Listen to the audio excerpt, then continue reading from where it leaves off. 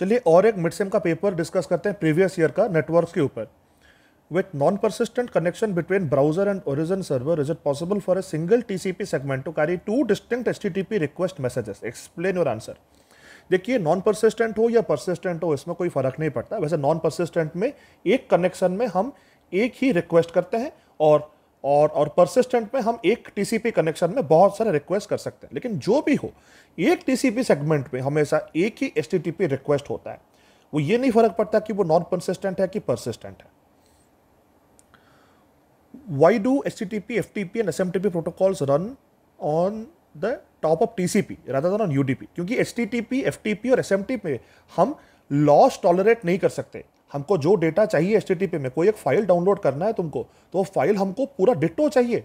उसका एक भी बिट इधर से उधर हो गया तो पूरा उसका मीनिंग बदल सकता है। एफटीपी फ़ाइल ट्रांसफ़र प्रोटोकॉल हमें कोई फ़ाइल चाहिए? हमको पूरा एग्जैक्ट चाहिए रिलायबल प्रोटोकॉल यूज़ करना यूडीपी से नहीं हो सकता। एस हमको ईमेल चाहिए।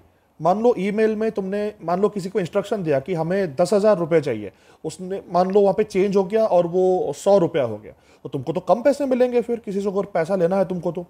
ये एक एग्ज़ाम्पल है। ऐसा कुछ भी चेंज हो गया तो उसका पूरा मीनिंग बदल सकता है, या तो फिर टोटली करप्ट हो सकता है। तो इसीलिए ये जो प्रोटोकॉल्स है, इनको रिलायबिलिटी चाहिए तो वो यूडीपी जैसा एक अनरिलायबल प्रोटोकॉल यूज़ नहीं कर सकते।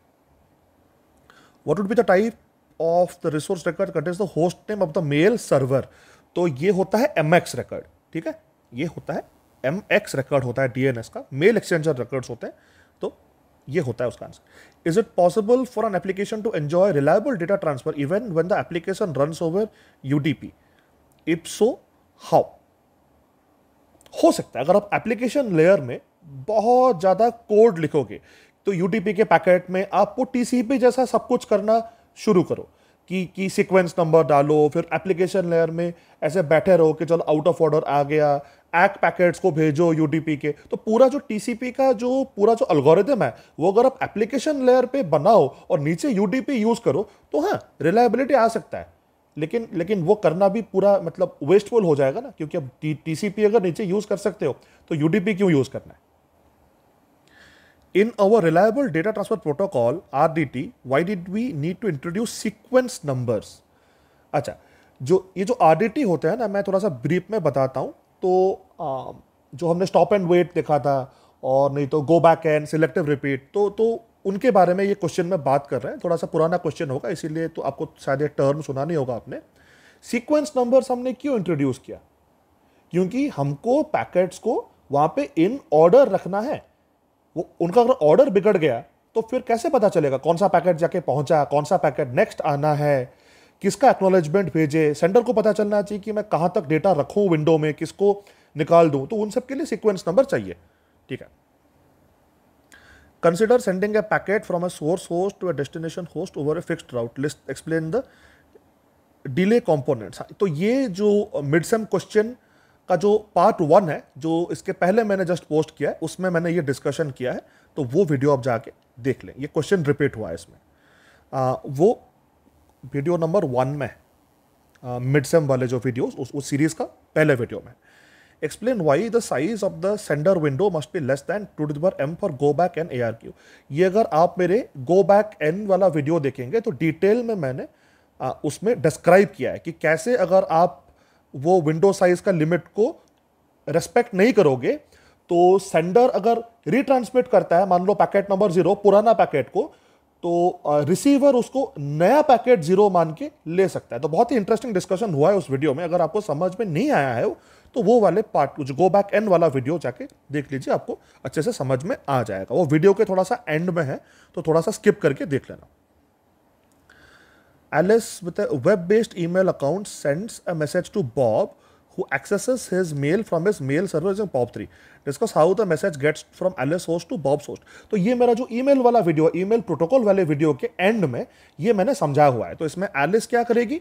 एच यूज़ करके मैसेज को अपने कंप्यूटर से गूगल को भेज देगी। फिर गूगल एस यूज़ करके मान लो बॉब अगर याहू यूज़ कर रहा है तो याहू के सर्वर को भेजेगा। फिर बॉब क्या करेगा? आई मैप या पॉप थ्री यूज़ करके मैसेज एक्सेस एजेंट को यूज़ करके वो मेल को अपने मेल बॉक्स से निकालेगा मे भी सो रहा होगा, सुबह उठ के वो निकालेगा लेकिन वो एच यूज़ नहीं करेगा, लेकिन एलिस एच यूज़ करके अपने मेल को जी को भेजेगी। इसका पूरा जो डायग्राम है, वो उस वीडियो के एंड में मैंने अच्छे से डिस्क्राइब किया हुआ है। अनफॉर्मेटेड टेक्स्ट माइम हेडर तो ये ये वाला जो वीडियो है, पहला वाला जो वीडियो है मिड सम के जो प्रीवियस ईयर के पेपर का सोल्यूशन मैंने बनाया, इसका जो, इसके पहले मैंने जो पोस्ट किया है वीडियो नंबर वन उसमें मैंने ये डिस्क्राइब किया, ये क्वेश्चन रिपीट हुआ है तो उसका आंसर आपको वहाँ पे मिल जाएगा। आप अगर सीक्वेंस में देखोगे तो आपको ईजी रहेगा।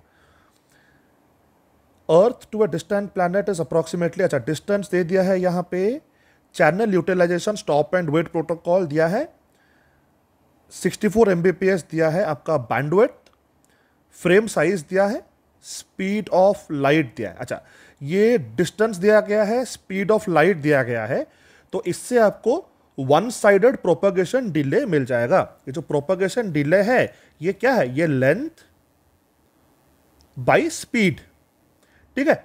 तो इसको अगर हम टू से मल्टीप्लाई करें तो हमको ऑलमोस्ट आर टी टी मिल गया। हमको बैंडविथ भी दिया गया है यहाँ पे। तो अगर हम बैंडविथ को आर टी टी से मल्टीप्लाई करें तो हमको साइज़ ऑफ़ लिंक मिल गया। ठीक है?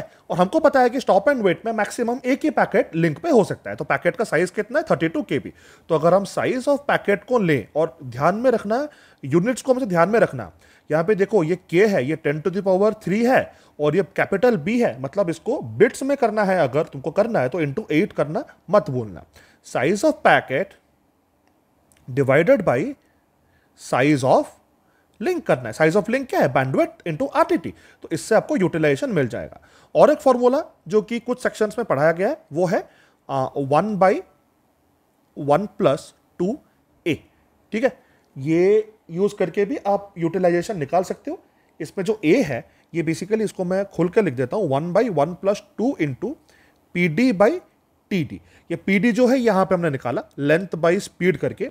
लेकिन जो ट्रांसमिशन डिले है वो आप कैसे निकालोगे? आप ऐसे निकाल सकते हो। आ, स, आ, वो हो जाएगा size of packet by bandwidth जो कि 64 फोर दिया है ना। देखो यहाँ पे छोटा बी दिया गया बिट्स में है पैकेट बाइट्स में है तो थोड़ा ध्यान में रखना। तो डिवाइडेड बाई बैंडविथ ठीक है? तो size of packet divided by bandwidth करने से आपको ट्रांसमिशन डिले मिल गया। लेंथ डिवाइडेड बाई स्पीड करने से आपको पीडी मिल गया, इसको टू से मल्टीप्लाई करना है और one by one plus two into ये करना है। तो आपको उससे भी यूटिलाइजेशन मिल सकता है। आंसर थोड़ा सा अलग आएगा, लेकिन आप अगर मेरा क्लैरिटी ऑफ़ यूटिलाइजेशन फॉर्मूला वाला वीडियो देखोगे, अब मैं मैं बिल्कुल आपको इंसिस्ट करूँगा, आप जाके देख लो कि दोनों फॉर्मूले इतने अलग भी नहीं होते। ये जो फॉर्मूला है size of packet by size of length ये आप गो बैक एंड में यूज़ कर सकते हो सिलेक्टिव रिपीट में यूज़ कर सकते हो, और आपको एक्नोलेज एक्नोलेजमेंट पैकेट का जो साइज़ है उसको इग्नोर भी नहीं करना है। वो ये फॉर्मूले में सारे हो सकते हैं। अगर ये फॉर्मूला यूज़ करोगे go back N selective repeat आपको window size by one plus two a करना पड़ेगा, और इसमें आपको एक्नोलेजमेंट पैकेट के साइज़ को इग्नोर करना पड़ेगा। जो भी करना है एग्ज़ाम में अच्छे से आपका असम्पशन को लिख के करना है। Centralize P to P decentralize P to P पहले वाले सोल्यूशन के वीडियो में मैंने बता दिया mid sem previous year question वाले में। क्वेश्चन रिपीट हुआ है। अच्छा कंडीशनल गेट भी उस वाले वीडियो में है। Connection establishment of TCP protocol में आप लिखोगे कैसे क्लाइंट अपना एक रैंडम इनिशियल सीक्वेंस नंबर बनाता है थर्टी टू बिट का, उसको पैकेट में डाल के सिन फ्लैग को ऑन करके भेजता है सर्वर को। सर्वर फिर अपना एक खुद का अलग से एक initial sequence number random thirty two bit का बना के पैकेट में डालता है। फिर सिन फ्लैग और एक्ट फ्लैग को ऑन करके क्लाइंट को भेजता है, क्लाइंट फिर अपना जो initial sequence number plus one करके सीक्वेंस नंबर डाल के एक एक्ट पैकेट भेजता है। तो उससे कनेक्शन एस्टेब्लिश होता है तो आप उसको लिख सकते हो।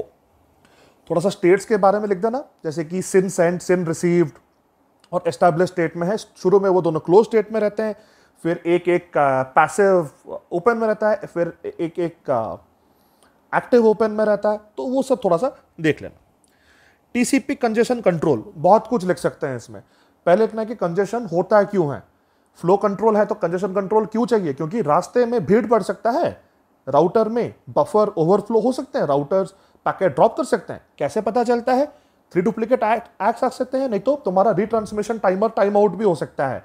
अच्छा कैसे उसको सॉल्व करें? सी डब्ल्यू एन डी लें, फिर उसको स्लो स्टार्ट जो है एक्सपोनेंशियल इंक्रीज उसको समझाना है थोड़ा सा।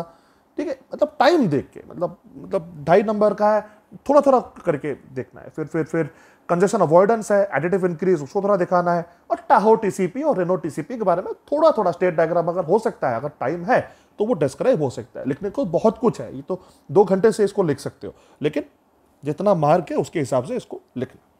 Thank you